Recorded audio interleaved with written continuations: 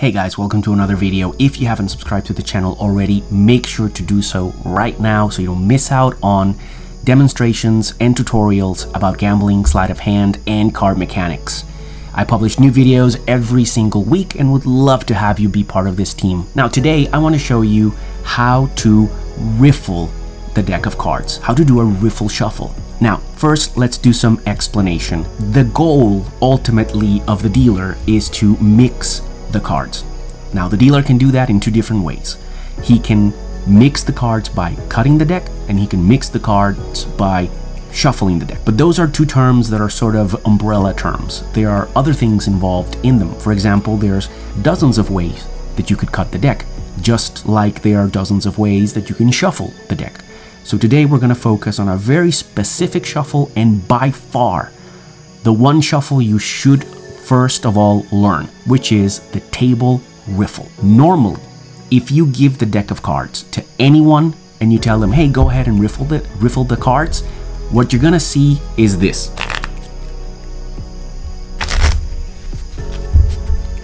How many times haven't you seen that?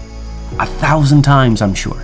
This is an amateur's way of shuffling the deck. So you're not supposed to shuffle a deck like that. You're supposed to shuffle the deck like a professional. So let's get on with the tutorial. Now, the first thing you're gonna do is that you're gonna take the deck and you're gonna split it in half. With time, you're going to develop a touch that will allow you to split the deck precisely in half, 26, 26. Normally, you could be off by two or three cards, that's not a big deal. But over time, you're gonna get it with practice. Now, once you do this, notice the position of the hands try to form a type of triangle, if you may, like this. Imagine you're doing something like this, like a triangle, okay? And you're gonna take the deck and you're, you're gonna take the the packets and you're gonna flip them like this, making a V right here. You're gonna have that V shape. Again, imagine that you have a triangle in your hands. Now you're gonna grab the deck like so, and you're gonna pick the cards up and you're gonna use your index fingers to bend the cards a little bit inwards. That's going to create pressure with your thumbs exerting force upwards. So your thumbs want to push the cards up while your index fingers want to push the cards down. You then move your thumbs upward, slowly releasing that pressure, and that's going to allow the cards to fall down. Interlacing the tips of the cards, they, they start to interlace and weave together. Once you do that, then you square them up using your ring finger, both of your ring fingers, to push them in, and then using your thumbs to square the deck. Finally, you're gonna come in with your index fingers and you're gonna finally square the deck like so.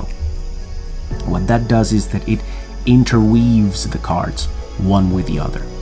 Again, it is the index fingers applying pressure down and the thumbs applying pressure up that creates that tension. That tension, you're going to release it when you start moving your thumbs upwards on the deck. Simultaneously, you move them both towards the top. That releases the pressure and the cards start to interweave one with the other. So again, you pick them up, split them in half, Try to get them as close to half and half as you can. You grab the deck and you exert that pressure and then you release the pressure and the cards start to interweave. They're interwoven. Again, square up. Most of the action is going to be in your ring fingers. In your middle fingers and your index fingers are going to be right here and you're going to start pushing them in and squaring them with your ring finger and your thumb doing this. This is what you're doing. You push with your ring fingers and your and your middle fingers and your thumbs start to do this to square the cards up. You square them up and now you come here and you run your index fingers to finally square the deck. Learning this technique, learning this table riffle, it's the fundamentals of card mechanics and gambling sleight of hand. Learn this first in conjunction with grips which I have a video for that in the description, and use those fundamentals one with the other. So that's going to be all for today. Don't forget to keep practicing and keep winning the game, and I'll see you guys next week.